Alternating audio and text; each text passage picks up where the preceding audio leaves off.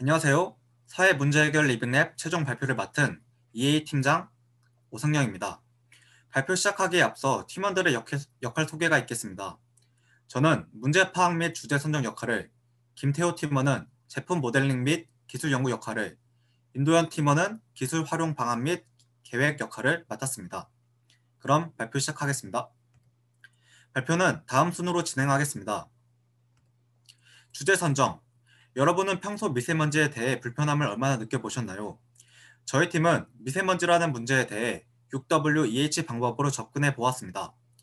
환기가 힘든 장소에서 실내 활동 시 내부에서는 많은 미세먼지가 발생할 수 있습니다. 겨울부터 봄 동안 외부 미세먼지를 의식해 창문을 닫고 있을 경우 실내에서 발생된 미세먼지에 지속적으로 영향을 받을 수 있습니다. 튀김, 구이 등의 요리를 할 때 주로 발생하고 건축자재, 택배박스, 심지어 건조된 빨래를 정리할 때도 발생합니다. 발생된 미세먼지의 집안에서 주로 활동하는 가정주부나 어린아이들, 노약자, 그리고 반려동물들이 피해를 볼 수 있습니다. 처음에는 기침으로 시작할지 모르지만 계속된 미세먼지를 흡입하다 보면 비염, 천식 등의 환경성 문제로 번질 수 있습니다. 다음 그래프와 자료를 보시면 실내에서 이불을 털거나 청소를 할 때 미세먼지가 발생됩니다. 특히 구이나 튀김 조리 시 실내 흡연 시 미세먼지 농도가 매우 높다는 걸 알 수 있습니다. 미세먼지는 슈레뿐만 아니라 가정에서도 많이 발생합니다. 미세먼지와 초미세먼지는 눈에 보이지 않기 때문에 위험인식이 떨어집니다. 하지만 미세먼지에는 중금속이나 유해 화학 물질 등이 포함되어 있기 때문에 사람들의 환경성 질환의 유발 원인이 되고 있습니다. 실내 공기의 오염물질은 환기 부족, 프린터, 가스레인지, 건축자재, 가구 등 다양한 발생원이 있습니다. 사람들이 많이 이용하는 다중 이용 시설의 실내 오염도 또한 높은 수치를 보여줍니다. 활동량이 많고 실내 치사가 이루어지는 어린이집에서 오염도가 높게 나타나는 상황은 매우 심각합니다. 이런 상황에서 미세먼지에 대한 대책을 세우는 것이 앞으로의 중요한 과제라고 생각합니다. 문제 해결 방안을 찾기에 앞서 저희 팀에서 선정한 미세먼지 문제와 수자원 재활용 문제에 대한 사람들의 인식이 어느 정도인지 설문조사를 통해 알아보았습니다. 설문조사 대상은 본교 학생들과 세종시민 대상으로 진행하였습니다. 생각보다 많은 사람들이 빗물을 재활용하는 것을 알지 못했고 미세먼지 문제에 대해 심각하다 느끼고 있었습니다. 미세먼지의 불편함에 대한 질문의 답변으로는 맑은 날에도 어둡고 공기 중에서 이상한 냄새가 난다. 미세먼지로 인한 대기 풍경이 훼손되어 우울하다. 미세먼지가 심해지면서 창문의 열기가 꺼려진다. 목이 칼칼하다. 미세먼지 때문에 마스크 쓰는 게 불편했다 등의 의견이 있습니다. 2. 문제 해결책 도출 기존 필터형 방식의 공기청정기는 필터를 주기적으로 교체해줘야 하고 공기를 커버할 수 있는 면적이 한계가 있어 효율성이 낮다는 문제점이 있었습니다. 문제점을 해결하기 위한 방법으로 전기 집진 방식을 활용했습니다. 전기 집진 방식은 공기 중의 미세 입자들을 정전기력으로 하전시켜 포집하는 방법입니다. 전기 집진기는 필터가 없는 방식이기 때문에 필터를 교체하는 비용이 없고 오염 문제가 없습니다. 하지만 기존의 건식 집진기는 포집된 먼지를 수동적으로 제거해야 합니다. 그렇기 때문에 수시로 제거할 수 없고 집진판의 이물질을 제거하지 않는다면 효율 또한 떨어질 수 있습니다.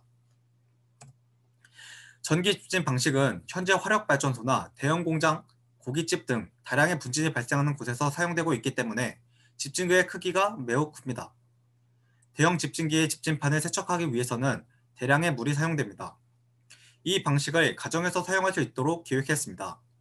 또한 세척하는 데 필요한 물을 일반 사용할 용수가 아닌 빗물을 재활용해서 사용할 수 있을지 고민해 보았습니다. 우리나라의 강수량은 세계 평균에 비해서 많지만 계절에 따라 지역에 따라 강수량이 불균형하기 때문에 가뭄과 홍수 문제에 대비해 댐을 필요로 합니다. 빗물을 재활용할 경우 홍수와 가뭄의 피해를 대비할 수 있고 그것을 막기 위해 필요했던 댐 규모를 축소함으로써 환경적인 문제를 해결할 수 있습니다.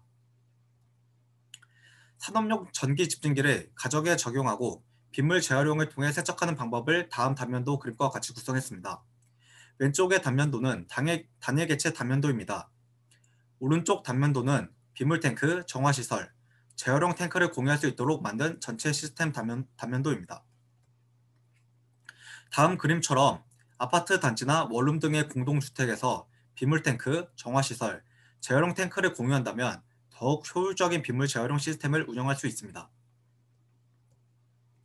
추가적으로 장비의 IoT 기술을 접목시켜 스마트폰을 통하여 시간대에 따라 미세먼지 수치를 확인하거나 전원 기능, 자동 세척 기능을 더해 보았습니다.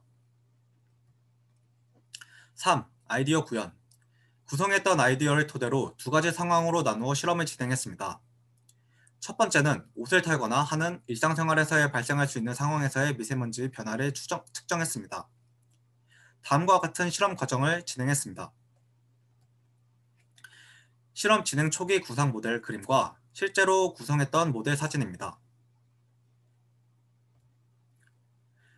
처음 실험 결과를 통해 집진기의 성능의 준수함을 확인할 수 있었습니다.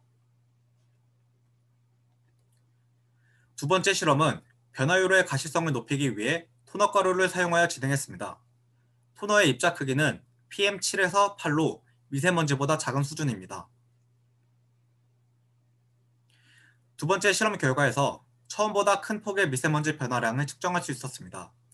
계속된 실험에서 처음에는 준수한 성능을 보여주었던 집진기는 성능이 점점 안 좋아지고 있었습니다. 그래서 집진판을 분리하여 세척한 후 다시 실험을 진행하였고 처음보다 나아진 수치를 보여주었습니다. 이를 통해 집진 방식의 경우 미세먼지에 계속 노출될 경우 성능이 안 좋아질 수 있고 이를 물로 통해 세척한다면 다시 원래의 성능으로 돌아온다는 것을 확인했습니다.